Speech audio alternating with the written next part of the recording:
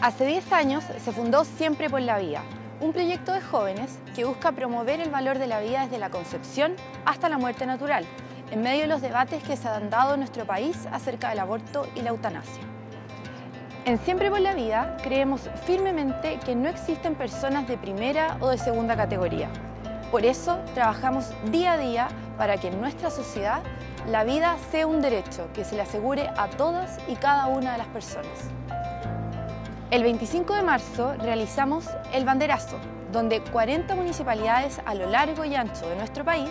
levantaron la bandera prohibida en sus comunas para conmemorar el Día del Niño que está por nacer y de la adopción. Este año nos hemos enfocado en acompañar a valientes mujeres que a pesar de las difíciles circunstancias de su embarazo han optado por la vida.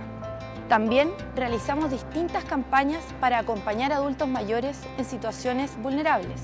así como actividades para la formación de jóvenes comprometidos con la vida.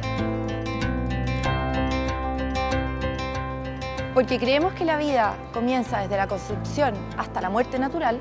con voluntarios de Siempre por la Vida realizamos la campaña del pañalazo, donde visitamos a adultos mayores de la Fundación Las Rosas, a valientes madres adolescentes o víctimas de abusos que decidieron optar por la vida de sus hijos, de logaroicos, y a pequeños guerreros de la Fundación Nuestros Hijos, quienes con su historia de vida nos enseñan que la vida no depende de las circunstancias y que toda vida merece ser vivida. El objetivo del pañalazo es, desde la sociedad civil, ayudar con la donación de más de 12.000 pañales, que gracias a la solidaridad de colegios y familias logramos recolectar y pudimos entregárselas a quienes más lo necesitan.